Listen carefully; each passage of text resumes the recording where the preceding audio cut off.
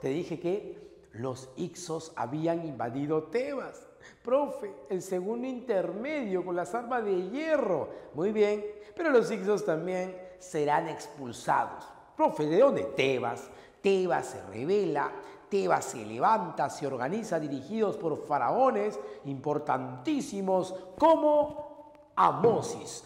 Amosis primero expulsa a los Ixos. Mira, Amosis primero, profe, entonces Amosis primero expulsa a los Ixos y nuevamente Tebas florece. Nuevamente Tebas aparece como la ciudad más importante. Sí, mira, ve, imperio neo-tebano. Neo porque es nuevo. O llamado también segundo imperio tebano. Imperio neo-tebano o imperio nuevo. Recuerda, Memphis, periodo menfita, imperio antiguo. Periodo tebano, imperio medio. Y periodo neotebano, imperio nuevo. Acá hay una serie de faraones, hay un montón de faraones, chicos, o sea, bastantes, ¿ya? Un montón. Vamos acá a escribir o he escrito los más importantes, lo que tú tienes que conocer. Por ejemplo, a lo he puesto porque él es el que pulsa los Ixos.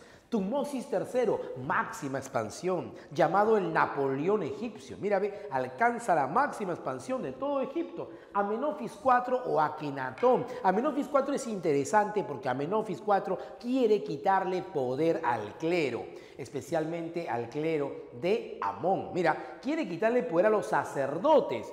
¿Y cómo quita poder a los sacerdotes? La razón de ser de un sacerdote es su Dios. Entonces, ¿qué hace Amenofis IV? Mata a todos los dioses. ¿Y cómo mata a todos los dioses, profesor? Implantando el monoteísmo. Mono uno, culto a un solo, a un solo Dios. ¿Ves? E impone el culto al dios Atón. Por eso Amenofis IV se cambia de nombre a Akenatón. ¿Ves? Mira qué facilito. A ver, vamos a meterle swing.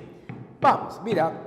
Expulsa los Ixos, Amosis primero, máxima expansión, Tumosis tercero, monoteísmo, Akenaton, monoteísmo, Akenaton. ¿Tú crees que los sacerdotes, el clero, se va a quedar tranquilo? Van a decir, ay, que, ay, ya, ya no tenemos poder, vamos a desaparecer, no hay problema. No, obvio, va a haber problemas va a haber rebeliones, va a haber crisis en esta época. Por eso cuando muere Amenofis IV lo reemplaza Tutankamón, el niño faraón, y él restablece el politeísmo y restablece la tranquilidad, la paz. Mira, politeísmo. Y Tutankamón tú ya sabes que va a ser famoso, pues, ¿no? Pero luego vamos a hablar de ello. Profe, luego viene Ramsés II. Ramsés va a firmar el primer tratado internacional de la historia. Ramsés pelea contra los hititas. ¿Te acuerdas de los hititas que invadieron Mesopotamia? Ahora Ramsés pelea contra ellos. Y aparentemente llegan a un empate y firman un tratado. El Tratado de Kadesh. Tratado de Kadesh, recuerdo, primer tratado internacional de toda la historia. Tratado de Kadesh Ramsés II. Y tenemos a Meneftá. ¿Por qué mencionamos a Meneftá? Porque en la época de Meneftá se va a dar el éxodo judío. Vamos a agregar acá el éxodo judío. Profe, ¿qué es el éxodo judío? Eh, ¿Te acuerdas que en época de los Ixos en el segundo intermedio los hebreos invadieron Egipto. Ya pues, ahora acá se van. Acá salen, dirigidos por quién? Por Moisés, ¿te acuerdas? Ya tú lo sabes, pues a cada rato has visto esto en Semana Santa. Muy bien, entonces mira a ver el éxodo judío con Menefta. Vamos a practicar esto, vamos. Vamos. Escucha. Expulsa los Ixos, Amosis primero, máxima expansión, Tumosis tercero, monoteísmo, Akenaton, politeísmo, Tutankamón, Tratado de Kadesh, francés segundo, Éxodo, Menefta, Éxodo, Menefta. Ya sabes, ¿ah? Éxodo es la salida del pueblo hebreo de Egipto. Profe, qué bacán. El imperio tebano, imperio nuevo, es la máxima, la máximo esplendor, la época de máximo apogeo. Te dije, te dije, todos llegamos a un máximo apogeo y luego caemos. Bueno, aquí comienza la caída. Tercer intermedio. El tercer horror. ¿Qué pasó? Primer intermedio, recuerda, los gnomos se rebelan. Segundo intermedio, invasión de los Ixos. Tercer intermedio, invasión a Siria. Tú ya lo conoces. Asiria, ¿de dónde es eh, ¿dónde queda Siria? En Mesopotamia, bueno, ¿y quién es este rey? Asurbanipal. Asurbanipal invade a Siria, convirtiendo en Mesopotamia o llevando a Mesopotamia a la máxima expansión. ¿Recuerdas? Muy bien, profe, tercer intermedio, Asurbanipal invade Egipto, conquista Tebas, pero no por mucho tiempo, porque luego va a haber un breve renacimiento desde la ciudad de Sais. Samético primero expulsa a los asirios, expulsa a los asirios. Sais, capital, renacimiento, Saíta. ¿Te has dado cuenta de algo, no? Ciudad Tinis, periodo tinita. Ciudad Memphis, periodo menfita. Ciudad Tebas, periodo tebano. ¿Ven? El nombre de los periodos tiene que ver con sus ciudades. Sais, renacimiento saíta. Se llama renacimiento porque renace Egipto por un breve periodo. Porque ya sabes que todo tiene su final, nada dura para siempre. Y este final llegará definitivamente con invasiones sucesivas. Primero llegaron los persas con Cambises, luego llega Alejandro Magno, el macedonio, y luego Octavio. ¿Te acuerdas? Primero viene Julio César, ¿no?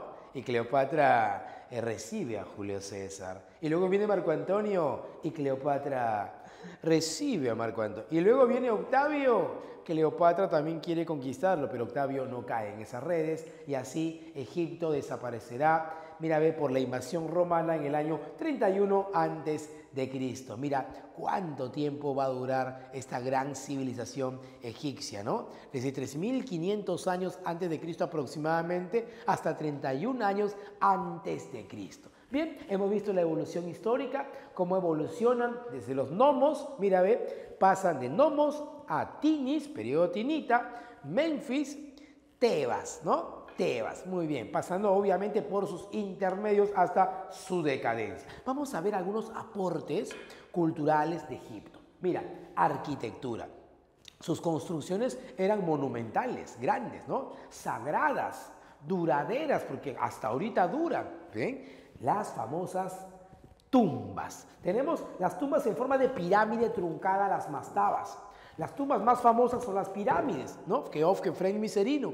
Y por último los hipogeos, que son tumbas subterráneas. Y los hipogeos se van a crear más o menos en esta época, en el imperio neo-neotebano. Además también tenemos templos como Luxor, Karnat, Abu Simbel, grandes construcciones. Ingresa a la universidad, sé gran profesional y vas a viajar a Egipto y vas a ver todas estas construcciones. Te vas a tomar un selfie ahí y vas a subirlo a tu Facebook. Tú lo puedes hacer. Profe, escultura, era ciclopia. Profe, ¿cómo que ciclopia? Como un cíclope grande. Eran grandazas, colosales, ¿ya? Grandes, carecen de movimiento. ¿Cómo es eso? Están estáticas. ¿Ves? Ponte que me haga una escultura a mí, esta belleza, este cuerpo escultural, así. ¿Ves? Carezco de movimiento. Ah, profe. Tenemos a la esfinge. Tú conoces la famosa esfinge. Tenemos los colosos de Menón, ¿no? Estatuas gigantescas, colosales, grandes. El busto de Nefertiti, ¿no? El busto es cuando sale la parte de aquí para arriba, ¿no? No, no, no, no sale, no, no. Es de acá, el cuellito para arriba, sale la cara. El busto de Nefertiti. El escriba sentado. El escriba sentado. Ya sabes que los escribas son funcionarios públicos.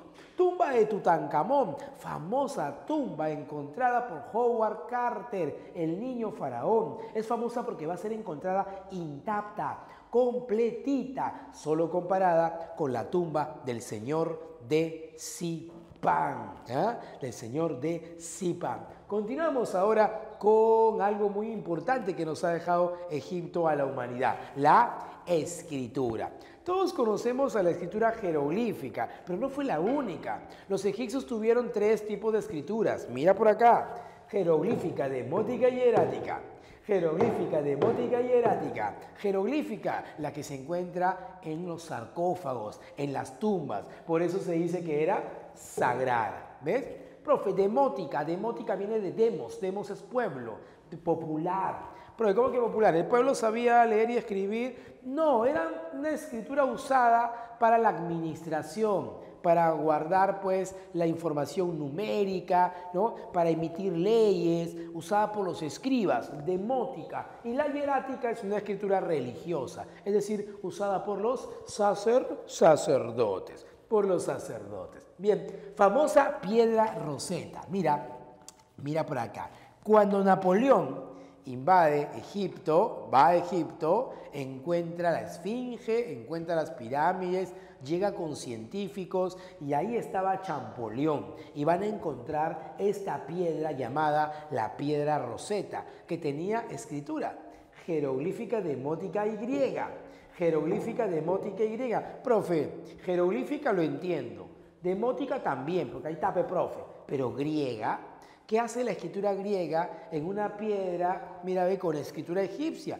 Lo que pasa es que esta piedra roseta se va a crear en las épocas de qué? De la dinastía que dejó Alejandro Magno. Cuando muere Alejandro Magno se divide en el imperio y al general Ptolomeo le tocó Egipto y Ptolomeo se casa con una princesa egipcia y él se convierte en faraón. Dinastía tolemaica, ¿ves? Sangre griega. Ahí va a haber una fusión cultural de Grecia con Egipto. Y la piedra roseta es ejemplo de esa fusión. ¿Ves? Ah, ahora lo entiendes. Muy bien. También en ciencias hay aportes, profe, aportes en ciencia. Mira, sistema decimal en matemática, ¿ya? Geometría del espacio. Conocieron el pi, ¿no? Conocieron la suma, la división, la resta. En astronomía, el calendario solar. Dividieron el año en 365 días. Profe, conocieron planetas. En ciencia, en química, conocieron la momificación. ¿no? Eh, usaban elementos no químicos, elementos de naturaleza para mantener el cuerpo, para que el cuerpo no se descomponga. ¿Ves? Ah, qué bonito, profesor. Y la religión, pues tú sabes, politeístas porque adoraban a varios dioses, panteístas porque adoraban a elementos de, perdón, panteístas porque adoraban todo, pan es todo, a sabeístas porque adoraban a los astros, la luna, las estrellas, el sol. ¿Qué más? Naturalistas porque adoran a la naturaleza. También zoólatras porque adoran animales, ¿ya? Un montón. Mira, ¿cuáles serán los dioses más importantes? Osiris, Osiris, ¿no? El sol poniente, profe, Horus, el sol naciente, Isis, la luna, Anubis, el dios con cabeza de chacal, ¿no? El dios de la momificación, el guardián de los muertos, Set, el dios de las tinieblas, mm, malo. Profe, Amón, dios importante de Tebas, Ra, dios importante de Memphis. Profe, Mac es el dios o la diosa de la justicia, ¿ya? Sobek es el dios cocodrilo, ¿no? Tot, el dios de los escribas, el dios de la escritura. Mira, entre otros dioses más, hay un montón. Profe, eh, el libro de los muertos, ¿qué cosa es? Es la literatura de Egipto. Y aquí, gracias al libro de los muertos, nosotros podemos ver, mira, podemos ver y entender lo que era el juicio de Osiris, como ellos creían en este juicio. Tú te morías y te ibas al juicio de Osiris. Mira, te llevaban, ahí quién, quién es el que te llevaba? Anubis. Anubis te llevaba, tu corazón lo van a pesar con la pluma de Maat, la pluma de la justicia, a ver si tu corazón es bueno o es malo. Si es bueno, te presentan, ¿no? Todo anota el resultado, el dios de los escribas, y te presentan ante Osiris. Y Osiris ahí decide, ¿no? Ah, tú eres bueno, pasas, entras a una especie de paraíso. ¿Eres malo? A una especie de infierno, el juicio de los muertos. Muy bien, ahí está, el juicio de Osiris en el libro de los muertos. Y así le decimos chau a esta gran civilización llamada Egipto. Nos vemos chicos, gracias.